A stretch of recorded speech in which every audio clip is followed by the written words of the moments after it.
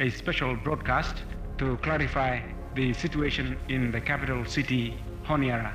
One of the boys slapped me with the butt of the gun, and that was when they started beating me up.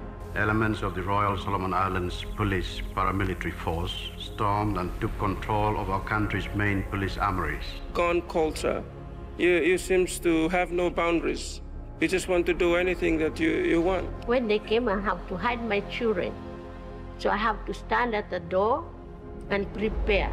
I don't worry about me dying, but I worry about the children. Ordinary people were very frustrated with the inability of the government to stop the violence. A letter was handed to the Prime Minister this morning asking him to resign within 48 hours. But it dawned on me once when I saw um, a whole lot of people in fatigue uniforms drive across town, openly holding arms. The government of Solomon Islands was not in a position to deliver services that it needed. When the decision was made by the Australian government that, you know, they will support a strong regional engagement, to me, it's a, it's a real blessing for our country. RAMSI was seen as, as the country's saviour. It was moving at a pace that we didn't expect. I'm sure the Solomon Islanders didn't expect, but put us on a path to real and lasting success.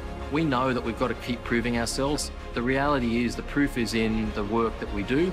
We need to now lead by example, show the country what we're capable of doing and step up to the task. We, we messed up. I think we can build a better Solomons. It's important that we, you know, we support neighbours in our region and Solomon Islands is a valued neighbour in our region. We are diverse across the region, but in the end we are one family held together by this Pacific Ocean.